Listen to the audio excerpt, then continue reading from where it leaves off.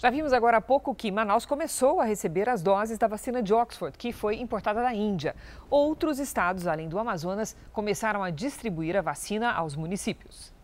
Os primeiros caminhões com as vacinas saíram pela manhã de um depósito da Secretaria Estadual de Saúde em Niterói, na região metropolitana do Rio, onde a temperatura das doses foi avaliada.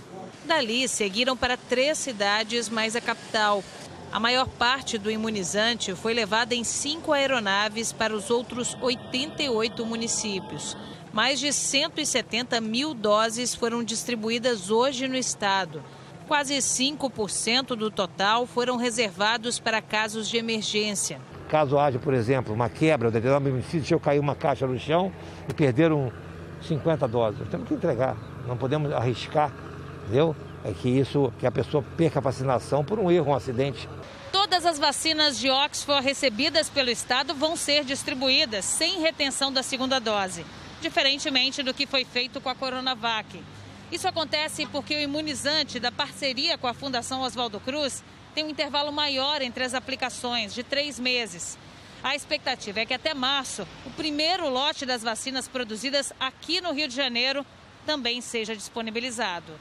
As vacinas de Oxford foram enviadas para todos os estados brasileiros. 84 mil doses chegaram em Pernambuco na madrugada de domingo.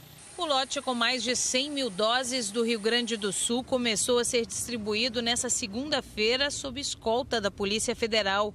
No Pará, todo o carregamento foi levado para o interior do estado. A prioridade são os municípios na divisa com o Amazonas, que enfrentam crise do sistema de saúde. Na Baixada Fluminense, a imunização com a vacina vinda da Índia foi iniciada. 700 profissionais da saúde de dois hospitais de Duque de Caxias receberam a primeira dose hoje. É uma situação preocupante, eu não tenho encontrado a minha mãe, então isso é um, uma nova esperança aí de que a gente vai se reencontrar em breve.